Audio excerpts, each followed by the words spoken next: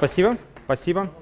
А, меня зовут Артем, я э, программирую всяческие веб-сайты, и в том числе мне интересна тематика э, реал-тайм приложений, и об одной из технологий, которые позволяют э, создать реал-тайм приложения, я вам сегодня расскажу. Э, и да, это будет WebSocket. Значит, какая проблема? Основным способом взаимодействия э, браузера и сервера является протокол HTTP. Это хороший протокол, очень мощный, очень эффективный, но у него есть э, проблемы. Он э, может только отправлять данные с одной, в одну сторону, от сервера к клиенту. Клиент запрашивает данные, сервер их отдает. И иногда в создании реал-тайм приложений нам хочется более эффективно, более быстро взаимодействовать с сервером. Э, для этого э, есть несколько решений. Э, такие как пулинг, это когда мы посредством выполнения клиентского кода, JavaScript, JavaScript например, на сервер каждый там несколько секунд или одну секунду или несколько миллисекунд отправляем запрос, типа есть что-нибудь новенькое, есть что-нибудь новенькое, есть что-нибудь новенькое. А сервер отвечает нет, нет, нет, а вот сейчас есть, а сейчас нет, а сейчас нет. Такой подход был реализован, когда в ноябре прошлого года проводился матч э, Корякин-Карлсон э, ну, по шахматам за звание чемпиона мира. И там была, прямо на сайте была интерактивная доска. И там был реализован механизм пулинга. Каждые 250 миллисекунд они отправляли запрос на сервер, случился ли новый ход. Это хорошая техника, она довольно проста в реализации, но у нее есть некоторые минусы, такие как э, генерация большого количества трафика, просто огромного количества трафика, потому что на каждый запрос вам нужно установить соединение, обменяться какими-то заголовками и отдать данные. Это довольно дорого. Э, есть более продвинутая технология long polling. Это когда мы устанавливаем одно соединение, но сервер на него не отвечает. Он ждет, пока у него появятся какие-то данные, и как только данные появились, он возвращает ответ. То есть мы посылаем запрос серверу, сервер ждет, как только у него появились данные, он, их, он отвечает. Уже лучше, но все равно много. На каждое, на каждое взаимодействие нам нужно заново устанавливать э, новый, на сервер новый запрос. Э, еще более костыльное решение э, iframe без конца или endless э, iframe. Э, в таком случае мы на клиенте открываем iframe, и этот iframe запрашивает какие-то данные сервера. Сервер не, не спеша дает эти данные, и таким способом получается некоторая пародия взаимодействия клиента и сервера. Тоже не очень хорошо. И другие костыли посредством, например, каких-то Silverlight приложений или флеша. Это, конечно, все интересно и прикольно, пользоваться можно, но больно. Э, и в качестве решения этой проблемы был предложен протокол а, WebSocket. Это протокол полнодуплексной связи, который работает поверх TCP-соединения и предназначен для обмена сообщений между браузером и веб-сервером в режиме реального времени. Но тут как бы сказано браузер, но вы можете использовать этот, э, в качестве клиента не только браузер, а мобильный девайс или просто ваш какой-то свой сервер. Это будет работать и в таком случае. Э, как же, как же работает WebSocket?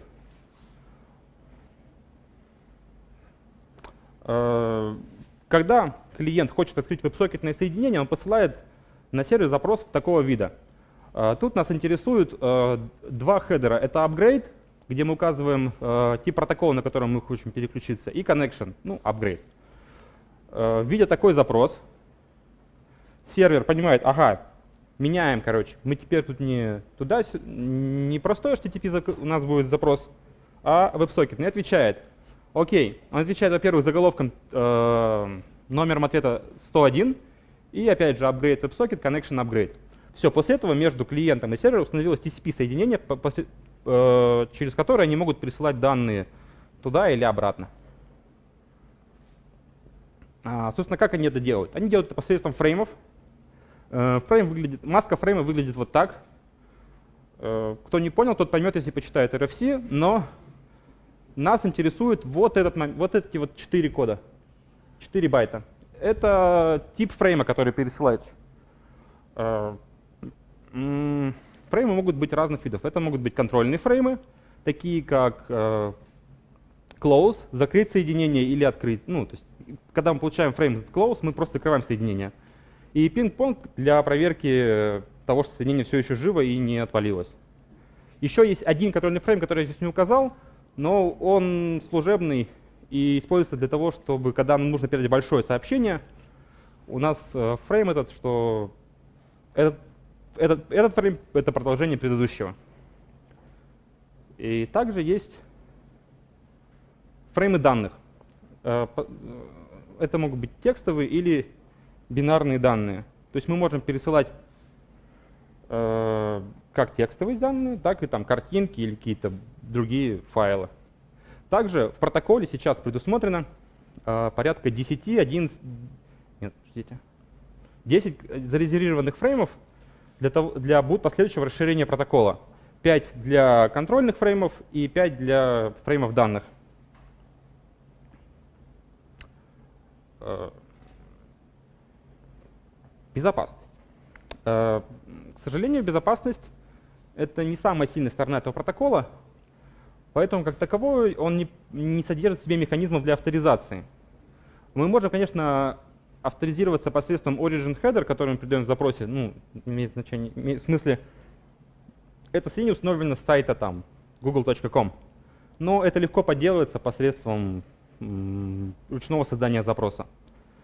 Также, а, помимо обычного сокетного соединения, мы можем создать э, защищенное сокетное соединение. Оно работает абсолютно по такому же принципу, как и HTTPS. Ну, в данном случае называется VSS.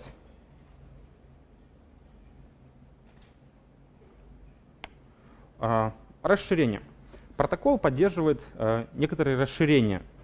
При установлении соединения мы можем э, запросить несколько, какие протоколы мы хотим, по какому, каким протоколам мы хотим взаимодействовать, например, SOAP или WAMP. Довольно экзотические протоколы, но тем не менее, возможно, кому-то они пригодятся.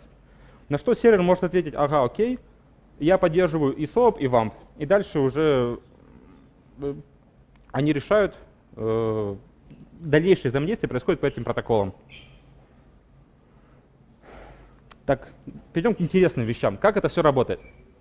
Тут представлен э, листинг JavaScript кода, на котором мы создаем объект WebSocket и указываем э, connection, э, адрес, с которым мы соединяемся. В данном случае localhost. Э, как только после этого мы э, создаем хендлеры для различных событий. Э, события, если не, изменять память, 4 основных. Это on-open, то есть как, э, оно триггерится тогда, когда у нас открылось соединение. Мы можем какие-то действия произвести, не знаю, показать пользователю, что ага, мы connection сервером установлен. On close, когда соединение закрыто по какой-то причине, это может быть наше, либо же по инициативе сервера. Например, сервер задидосили, и он упал. И также uh, on message, это, это, этот event триггерится, когда какое-либо сообщение приходит uh, от сервера. Вот мы имеем доступ к этому, к данным, которые присылаются event, и можем делать с ними что, что захотим. Передать дальше, распарсить, показать, что еще захотим. И еще есть один, э, ну это не триггер, это action. Это мы можем послать какие-то данные на сервер. Он вызывается довольно просто, socket, send и данные, которые мы хотим послать. Э, ой, ой, слишком много. А как это на сервере? На сервере выглядит абсолютно так же. Тут приказан, показан кусок э, Ruby кода э, с фреймворком Event Machine. И все то же самое. Мы создаем объект WebSocket и навешиваем на него какие-то хендлеры. На открытие, на закрытие, на сообщение. Проще просто некуда.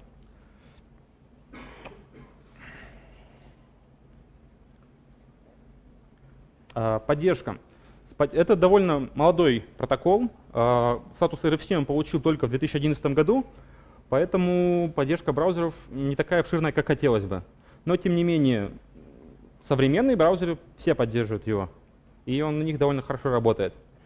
А, посредством поддержки языков программирования серверных тоже довольно хороша. Практически любой язык, который вы возьмете, будет иметь в себе какие-то библиотеки или фреймворки, либо еще что-то для работы с э, веб-сокетами. Э, некоторые языки подходят для этого лучше, некоторые хуже.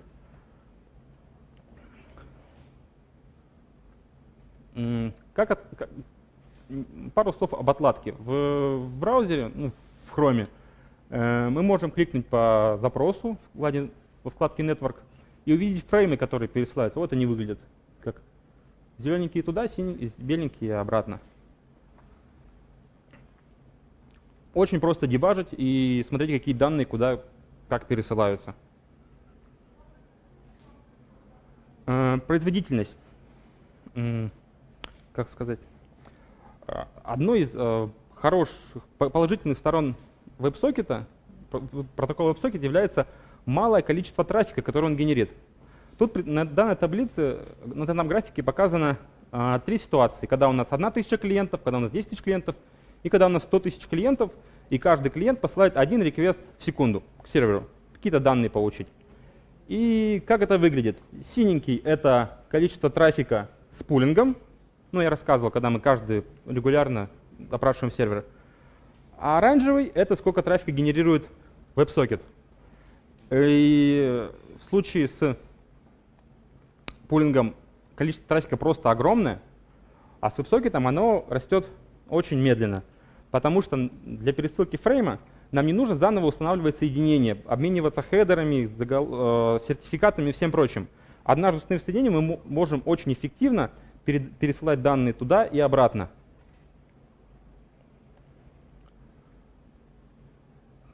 Ах, слишком, слишком много. Вот так. Тут представлены результаты некоторого эксперимента. Э, на, машине, на сервере вот такой конфигурации запустили несколько клиентов э, на языках программирования и провели нагрузочное тестирование. Оказалось, что на языке C++ можно обслуживать одновременно порядка 30 тысяч клиентов. Это, это неплохо, очень неплохо. На языке Clojure тоже схожий результат. Э, чуть хуже себя показали Elixir и Phoenix. Э, Ruby вообще просто ничего не показал. JRuby показал чуть-чуть лучше, но примерно ничего. Но отчасти это потому, что они использовали э, ActiveCable из Rails 5, а это не самое лучшее применение, не самый лучший инструмент для работы с веб-сокетами. Если они бы использовали Event Machine, возможно, у них бы были показатели лучше. И последним строкой идет э, Node.js. Node.js очень популярен, отчасти потому, что там есть э, довольно богатая библиотека Socket.io, которая позволяет очень легко работать с э, веб-сокетами.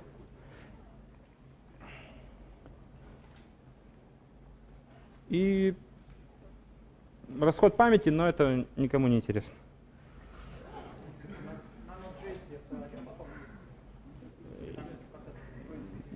Не знаю.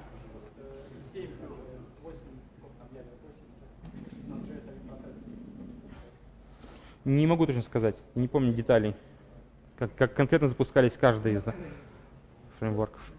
Э, недостатки у WebSocket — это ресурсоемкость, как ни странно, но потом, это ресурсоемкость для поддержания большого количества коннектов. То есть нам нужно довольно много ресурсов, чтобы одновременно держать коннекты, но при этом у нас идет существенная экономия на трафике. Э, нет кеширования, ну, как бы посредством такого мы можем закешировать что-то на, на стороне сервера, но не можем что-то закешировать на уровне протокола. А обрывы соединения, то есть соединение, так как оно real-time, оно может оборваться, при этом вам нужно заново его устанавливать. Это не очень хорошо работает в некоторых условиях, таких как, например, мобильные клиенты или в условиях очень плохого коннекшена где-нибудь в лесу или еще что-нибудь. Также к минусам э, архитектурной особенности это, как правило, вам нужно, у вас есть сайт, например, и вы хотите туда добавить поддержку веб-сокетов для показа каких-то реал-тайм данных, какие-нибудь графики, там, курсов валют или еще что-нибудь. Для этого зачастую вам придется э, создать отдельное приложение, которое запустить параллельно с основным проектом, которое будет обслуживать только веб-сокеты. И плюс это слишком круто, то есть это очень модное и современная вещь, и не всегда хорошая поддержка есть в этом. Ну, как я уже говорил, Internet Explorer только с 10 версии поддерживает. Но помимо недостатков есть и преимущества. Это full duplex, то есть мы можем обмениваться данными туда и обратно, как с клиента на сервер, так и с сервера на клиент. Мы генерируем меньше трафика, у нас э, меньше задержка, потому что, опять же, нам не нужно устанавливать соединение. соединение установлено, и мы очень быстро пересылаем данные туда-сюда. Может работать не только с браузером, как я уже говорил, это могут быть мобильные приложения, и либо же прям сервер-то-сервер взаимодействия. Этим довольно легко использовать, то есть вы видели примеры кода, они очень просты. Э, важный момент — это стандарт, это не какое-то костыльное решение, которое работает как-то поверх каких-то хаков, это стандартизированный протокол, который очень четко описан и который в скором времени, который уже поддерживается всеми браузерами и в дальнейшем будет только развиваться. Это соедин... Э, одно соединение, то есть э, однажды соединение мы работаем по нему и не создаем дополнительную нагрузку. И нет проблем с прокси. Раньше была некоторая проблема, то, что не все прокси-сервера хорошо работали с веб-сокетами, но последние пять лет ситуация очень сильно улучшилась. Э, применение. Где можно применять такую хорошую технологию? Это различного рода реал-тайм приложения, чаты, онлайн-игры для создания мультиплеера в этих онлайн-играх. Это трейдинг, где нужно, где скорость отклика крайне важна, э, совместное редактирование документов, мониторинг каких-то данных, ваш стартап, конечно. Ну и в частности, прямо сейчас, э, управляя этой презентацией, использую, использую технологию WebSocket, потому что у меня на, на телефоне открыт сайт, и как только я делаю здесь, перелистываю страницу, оно перелистывается и, и там, потому что там тоже открыт браузер. В частности, сейчас мы применяем эту технологию в, в одном проекте Production, и там мы это используем для, опять же, создания мультиплеера в некоторого рода онлайн-игре.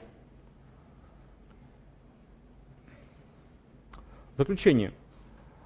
Э, у технологии есть хорошая поддержка со стороны сервера и относительно хорошая со стороны клиента. Современные клиенты поддерживают, старые не очень. Это стандарт, не какое-то костыльное решение, которое через какое-то время может стать неактуальным.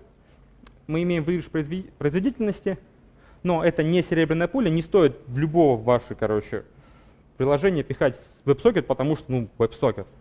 Давайте все сделаем на WebSocket, давайте мы загрузим пустую страницу, а потом все данные будем в страницу передавать по WebSocket. Как бы можно, но зачем? Э, это хороший инструмент для своих задач. Это, в принципе, все, что я хотел вам рассказать сегодня. Спасибо. Если у вас есть вопросы, я сразу на них отвечу. Пр прошу.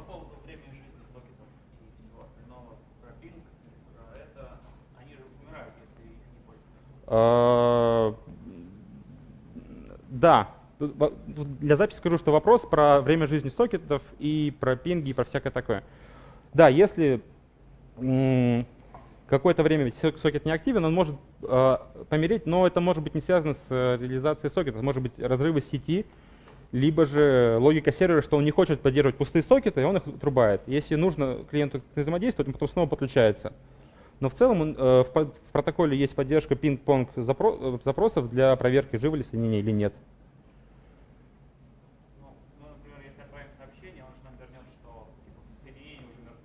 Ну, да. Для долгосрочного, то есть мы подключились и там ждем какого-нибудь события, нам надо все время пинговать. Э, для этого есть пинг-понг. Они автоматически сами посылаются. Если вы просто создадите соединение и подкроете вкладку фреймы в, в, в режиме отладки, вы увидите, что периодически сама реализация просто WebSocket э, библиотеки на JavaScript, она будет посылать какие-то данные, чтобы соединение, как вы сказали, не закрылось.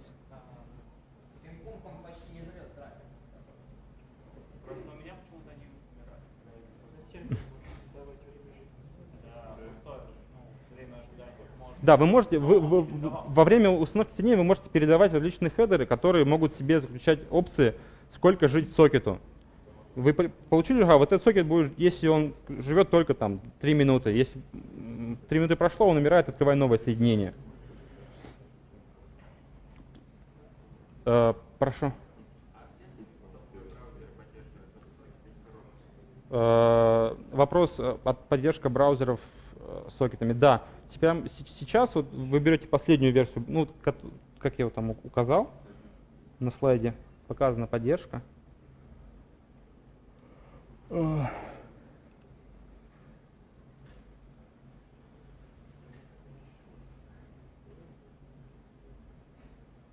но да, они поддерживают из коробки. Вам не нужно ставить каких-то дополнительных библиотек для работы с ними. Прям э, в JavaScript уже есть готовый объект WebSocket, который вы создаете, передав туда адрес, по которому подключаться, и работаете с ним.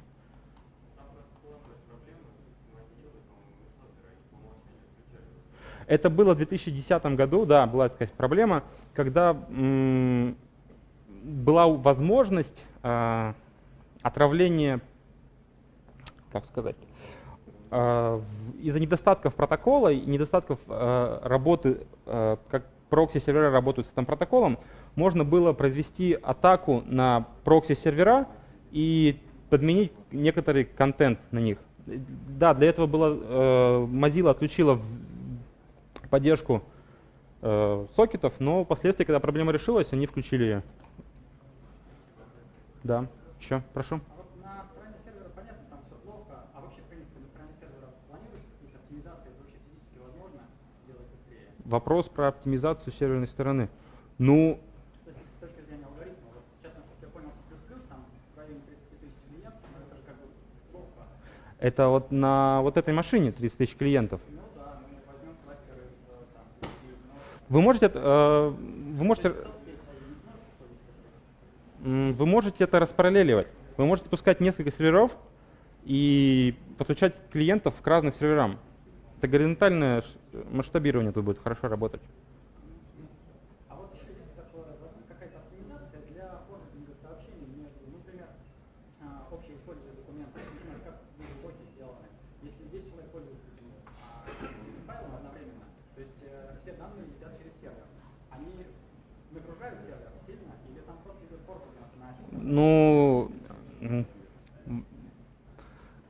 зависит от вашей реализации серверной архитектуры. Если вам нужно, вот, например, на ка- какие-то данные пришли с клиента, вам их нужно положить в базу, там, проверить, какие-то провалидировать, это, Если делаю э, э, ну, наверняка в каждом языке есть свои оптимизации, как минимум, что мы да? И а- опять же на уровне реализации фреймворка, который работает, потому что фреймворков очень много. И стоит выбирать, который, может, некоторые будет работать лучше в вашем случае, а другой будет лучше работать, когда нужна интеграция там, с базами данных и другими сервисами.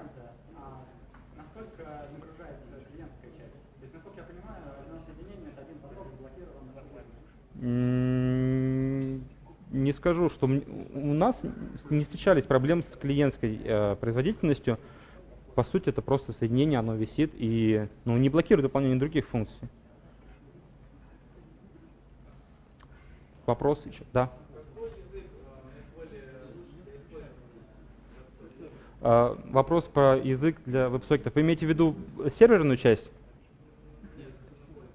Со стороны пользователя лучше, конечно, использовать JavaScript, ну, потому что он будет работать во всех браузерах, и там довольно хорошо описан, и есть несколько библиотек, которые уже раб- работают поверх веб-сокета, что эти более высокие, высокоуровневые абстракции с более удобным э, способом взаимодействия.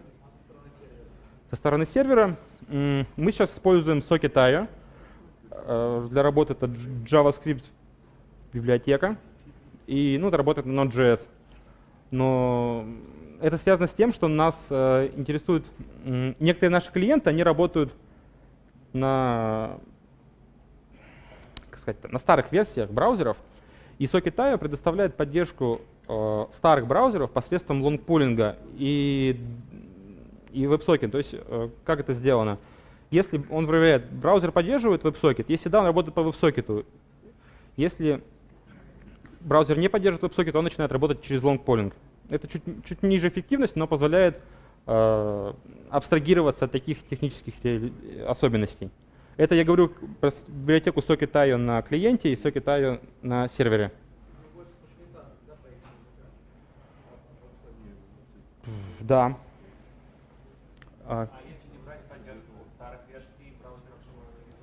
э, можно использовать просто э, прям нативный объект э, веб-сокетный в Java- JavaScript, он будет прекрасно работать. да, сервера, Не-не, а, по поддержку старых протоколов я имею в виду клиентскую часть. А на бэкэнде вы можете использовать то, что вам нравится. Конечно, некоторые языки лучше работают, которые поддерживают, опять же, мультипоточность и там распараллеливание, а некоторые хуже. Например, один мой знакомый писал веб-сокет на сервере на PHP, и он, у него было много боли с этим связано. Но я думаю, в принципе много боли. Да. Кому-нибудь еще есть вопросы? Илья? Окей. Я думаю, это все. Спасибо большое. Я... Я останусь в зале еще на, на, на следующий доклад, поэтому если хотите пообщаться в личном порядке, подходите, я отвечу на вопросы.